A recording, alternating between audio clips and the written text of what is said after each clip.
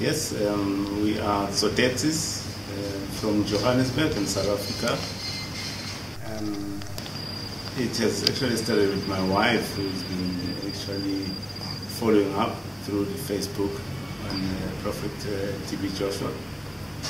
And uh, yes, I had my reservations with the prophetic churches because I'm basically coming from the Catholic background.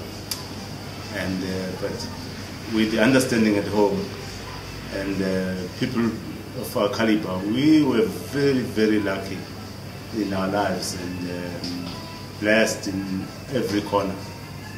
And uh, till things actually started going south.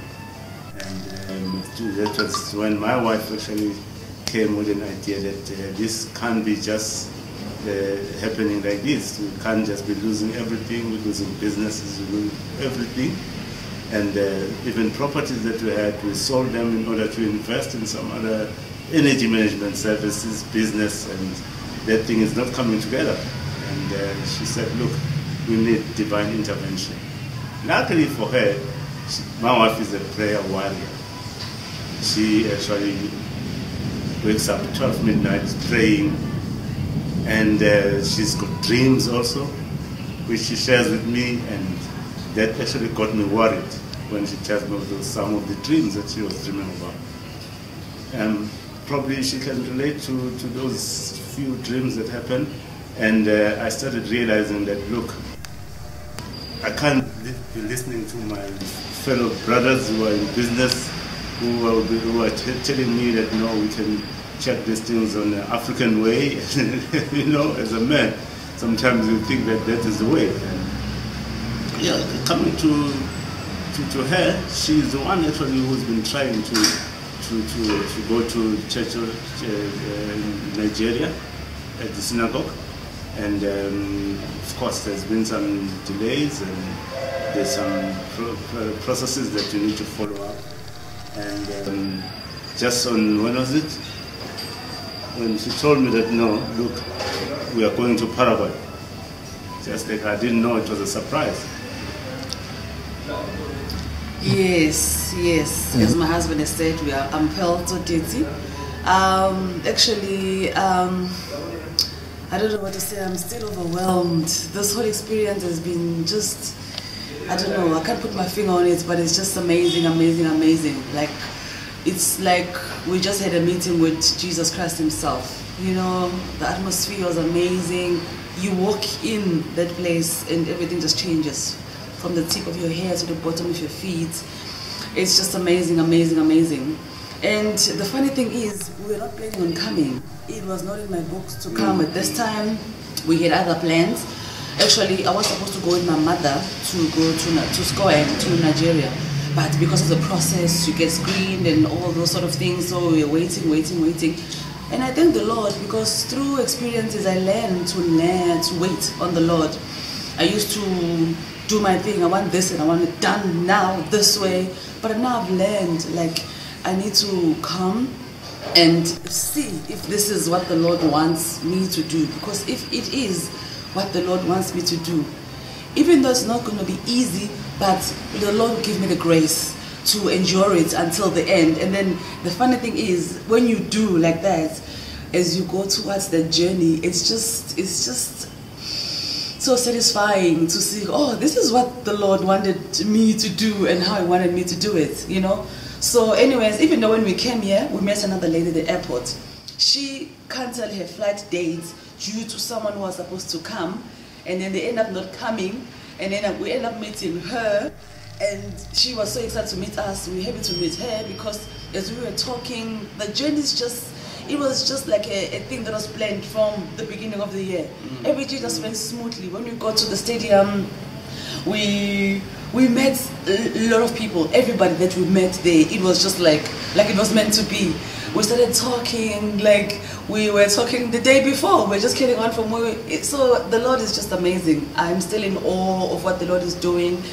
And I truly, truly, truly, truly, truly, truly believe as a Christian, we really need to just become close to the Holy Spirit because it guides us. And when we go like that, our journey is just going to be an amazing, amazing, amazing because I've learned if we take the route the Lord wants us to, to take, it's just going to be amazing. Whatever I've planned for my day, it's never going to be as good as what the Lord wants for my life.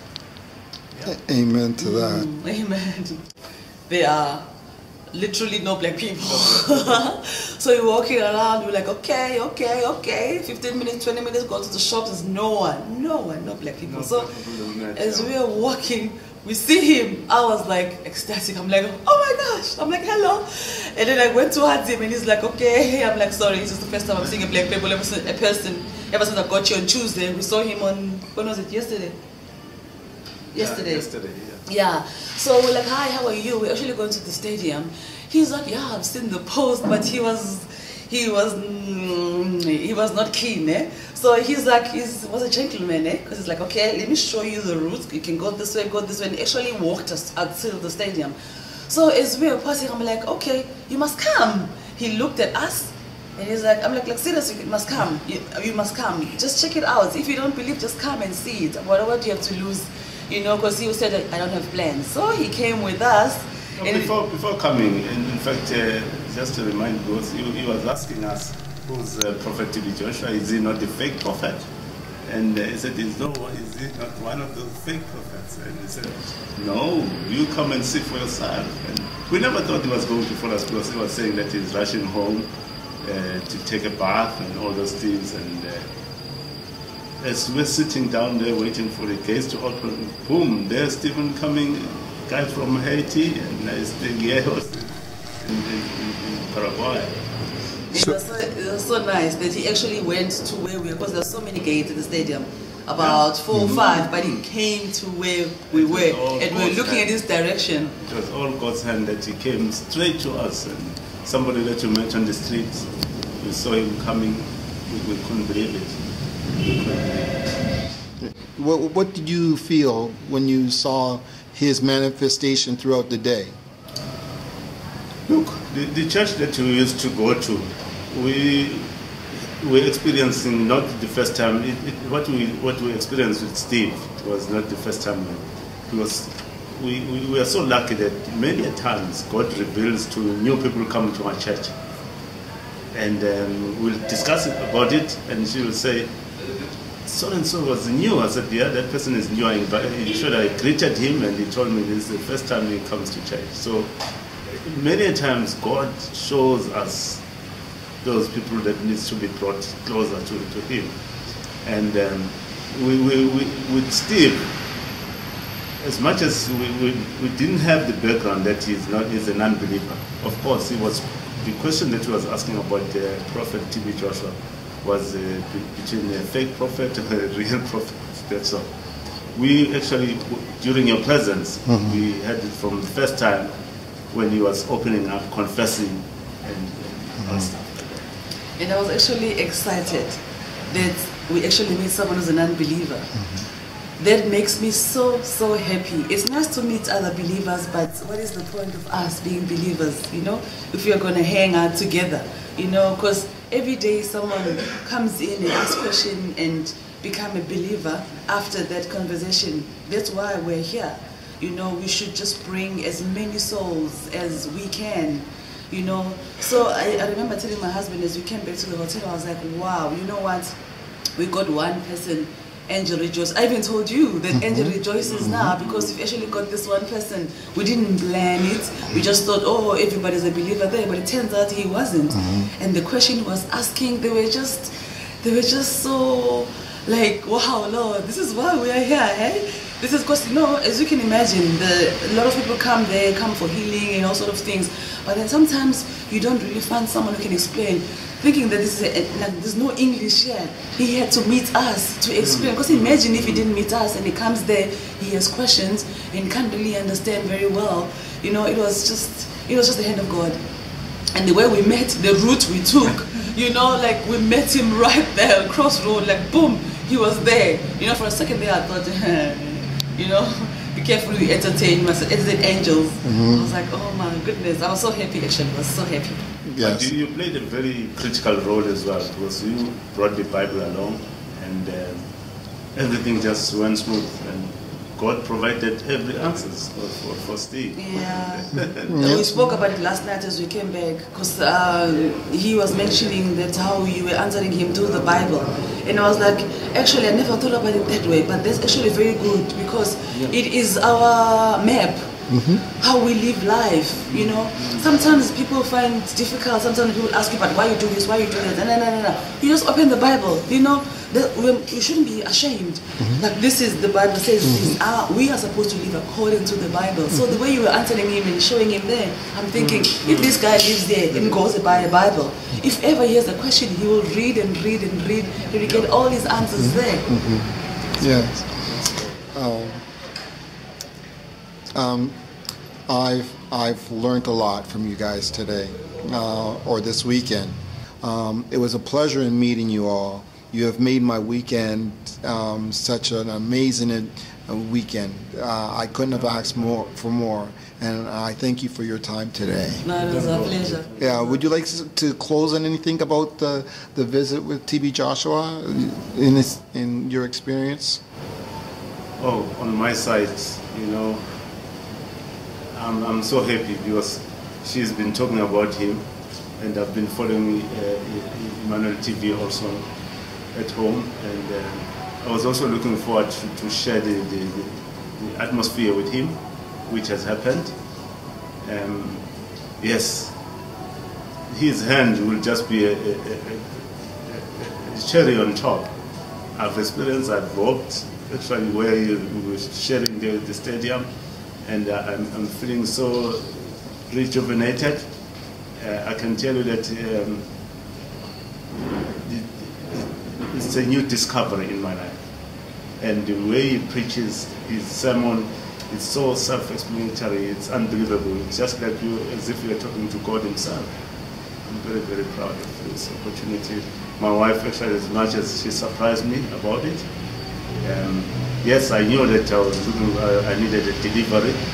Uh, of course, once, when I, I, once uh, read also uh, on YouTube on uh, Prophet uh, T.B. Joshua's sermon with us business people that we only go to, to, to him to revive our businesses and and but yeah with my wife on on, on my side and I, I've learned that any business without God actually is just a business which is going to be a failure. And Amen. hence I'm preparing and uh, I can assure you from now on I will devote my, my life, my, my businesses, future businesses to, to God himself. Amen. Amen. Amen. Amen. Amen. Uh, what I've learned, what I've learned, you know, we learn every day. You know, this walk, it's uh, it's full of surprises, and God does His thing. And I've just learned to listen more, settle my heart, wake up, and just say, Lord, I give you my my today, my every moment. You lead me, you guide me. Um, because if you do that and then because you know god can't do much here on earth if he can't use us so we are his uh, hands we are his feet we are his mouth mouthpiece so if you I wake up and i say lord i'm here i'm ready you know it will, the day will just be even satisfying to me at the end of the day even though it was not the day that i've planned you know, at the end of the day, you will just rejoice and say, wow, I'm so happy I listened to the Holy Spirit guiding me, leading me, you know, and Prophet T.B. Joshua emphasizes this thing that's clear your hearts, you know. I even told you yesterday that being a Christian, you know, it's, um, uh, um, it's quite a journey, hey? You need the Holy Spirit next to you because, you know, don't take offense, clear your heart because your heart is where the Lord stays. So everything and every time you take something and you put it in this space. So now the Lord is a jealous God. He can't share a space with anybody. So what happened at that moment now, I walk outside and someone gives me that look and I'm like, ah, who do you think you are? At that second, the Lord Jesus Christ, the creator of heaven and earth, the one who put words into existence, is out now because I've taken this offense now. You know, you know when this is a jealous God, doesn't mean like jealous God don't bow down to anything. Even that, that's taking offense. You know, envy, jealousy, and all those sort of things. We must keep our heart as pure as we can. You know, so that's what I've learned. Amen.